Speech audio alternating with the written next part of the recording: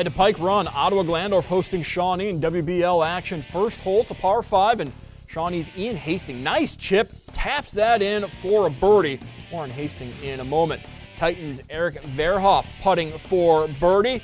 Comes up just a little wide, would tap that in, records a par to start his day. Teammate Eric Paris, little trouble off the tee, rallies for a bogey six on the first. Finally, Shawnee's Sam Reed gets his par putt to fall as Shawnee gets the win over OG by 20 strokes. Hastings your medalist, with a 38.